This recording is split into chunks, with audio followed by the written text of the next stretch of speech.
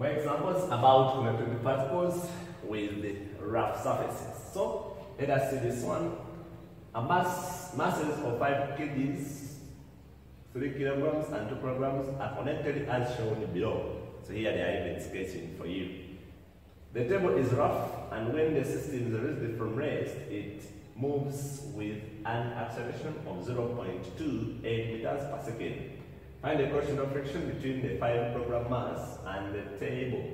Okay, because they say the coefficient of friction is always between two surfaces. That's why they're asking us this at the table.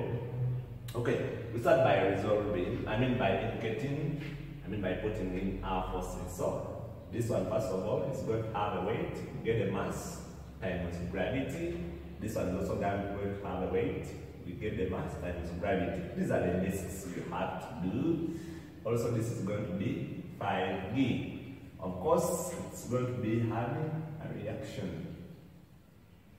So there is going to be a reaction there. Of course, now, these two strings are different. So meaning they are going to be having different tensions.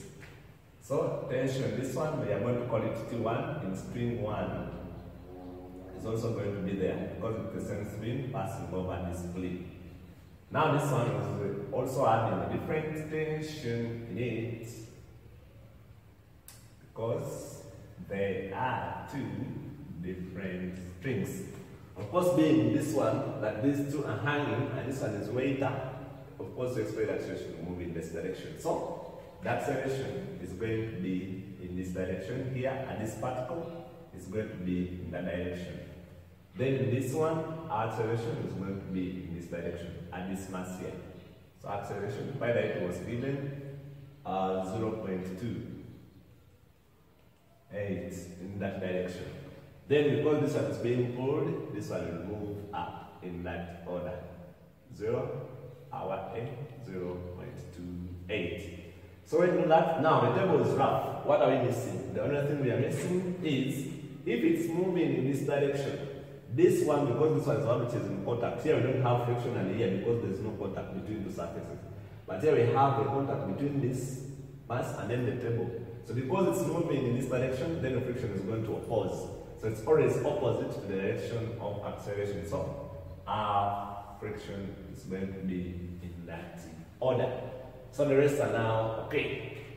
So now we want to get the coefficient of friction. Okay. So we start the moment we start we have friction, you start by getting R. So now we can resolve upwards.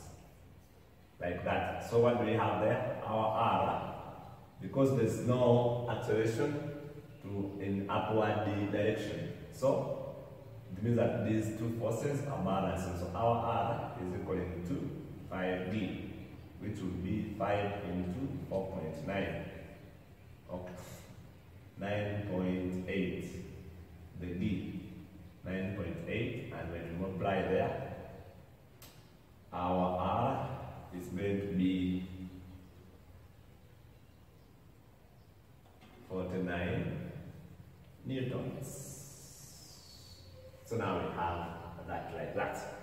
So after getting R, then we can come, we can start with uh, energy. But let us start with uh, this one here. Or we can start with this one, whatever. So let us start with these two forces hanging. So if we consider a 3 kilogram mass, where is the acceleration its acceleration is in this direction there. So know that R resultant force is always equal to the mass times acceleration. You see in this direction, what is holding it is the 3D. Then minus, there is a force opposing which is the T1 equaling to the mass which is 3 times the acceleration because acceleration is going to be the same 0.28. 0.28 and from there you can every see that I can get my T1 if I take this this side I mean this would be 3 into 9.8 then I bring this this side into 3 0.28 equaling to T1 Applying out the 3 and subtract your T1 from here will be okay 9.8 minus 0.2 8 then times the 3 This is 28.56 newtons. So I have my first tension. Okay, I come to 20 kilogram mass, the 2 kilogram mass. Where is the acceleration? You start the acceleration for it is going upwards there. So meaning the resultant force will also go in that direction. But it's given by mass times the acceleration using the second law, the second law. So what is pushing it up? With this direction of acceleration. You see, what is pulling it us up is the this T2. So our T2 now minus the one which is opposing, which is this 2g equal to the mass, which is 2 times 0.28. So when I take this, this side, so my T2 will be 2 into 0.2, 8, then plus 2 into the g, which is 9.8. So 92 from here, this plus this, then you multiply by 2. Times 2. It's 20.16 newtons. Why do you think this tension is bigger than this?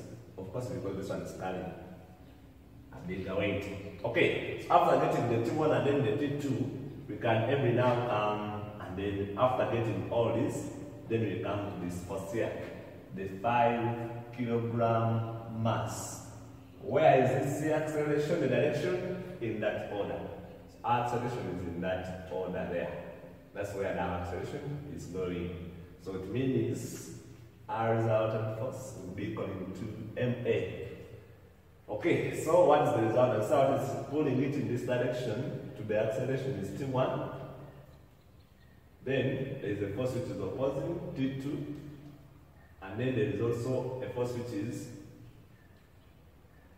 opposing it in this direction, which will be F, so minus F, equal to the mass, which is 5, times the acceleration, which is uh, 0.28. This is the one which is pulling, but we have friction opposing, and we have T2 which is pulling in the opposite direction. That's why are subtracting them from there. So from here, it's so that I can get my F. From there, my F will be equal. When I take this side, I'll be adding T1 minus T2, then minus, when I bring this this side, 5 into 0.28. So my friction is going to be T1 5, 6 minus T2 1, 6 minus, when you press this, I get 1.4. So my friction is going to be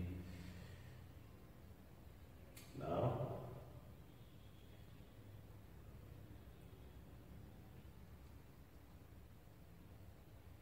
seven. So here my friction is equaling to seven. It is.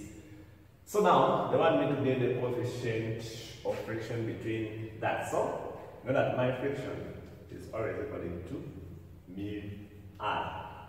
I want me to have this, I have this. So this is 7 equaling to mu, which I'm looking for. Then times 49. That our mu will be equaling to 7 over 49. And that's all the only thing we want. Equaling to 1 over 7. As simple as that. Oh, these are newtons, please, because it's a force. So that's how we handle that numbers. When you know how to rest and it will be very easy. What is most people when they come to this force, they forget this F. Don't be one of them. Okay, so that's it. I wish you well. It has no limits.